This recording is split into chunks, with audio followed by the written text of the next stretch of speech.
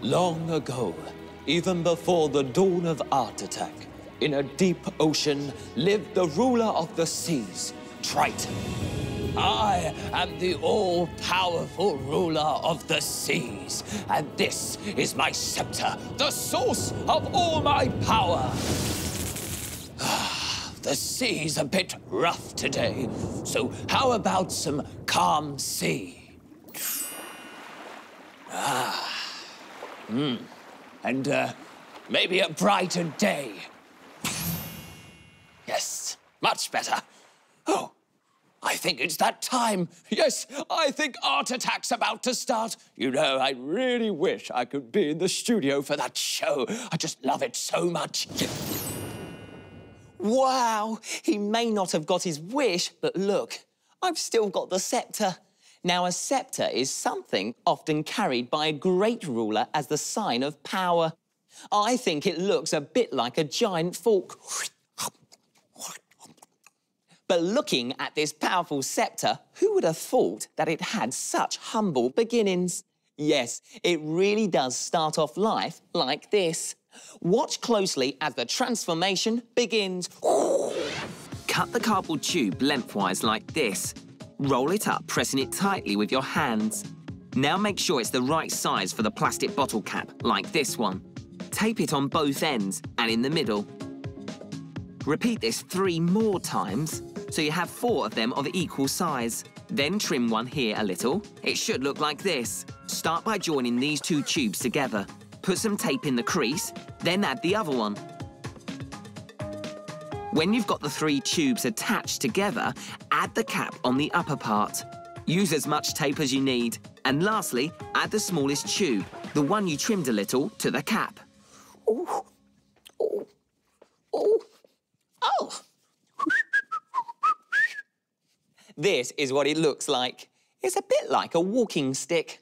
Now, I'm going to show you how to make the trident part of the scepter. For that, you'll need some cardboard. So, get ready to put it all together. Draw the trident on a sheet of thick cardboard. Start with the outline, which looks like a big oval shape. And then do the three points. The one in the middle is like an arrow going straight up, and the ones on the either side are curved, just like this. Get an adult to help with the cutting out. You'll end up with this shape. Set it on another piece of cardboard and trace the outline with a pencil, but only draw the two outside prongs. You don't have to draw the middle one. Now match up the lines here, then cut it out. You'll have one part with three prongs and the other one with two. Make another one with two prongs. Then put the three pieces together. First, put some glue on in the middle piece and glue on one of the parts with the two prongs on, like this. Turn it over now and do the same thing with the other piece. Put some glue on and then press quite hard to make sure it's stuck on tight. Lastly, take the trident onto its pole and don't be afraid to use as much tape as you need. That's looking good. Wow. So now we have the two parts of the scepter joined together. The handle, made out of cardboard tubes, and the magnificent fork part, the trident. We'll give it a bit of colour very soon. But first, let's make sure our scepter is really strong. Ooh, Cover the whole piece with Art Attack paste, which is a mixture made up of half glue and half water. Then stick on strips of newspaper. Start on the trident and then continue down until you're finished. When it's dry, we can give it some colour. The trident has to shine brightly in the sea, so we'll use this bright yellow. Once it's dry, add a slightly darker shade of yellow to give it depth.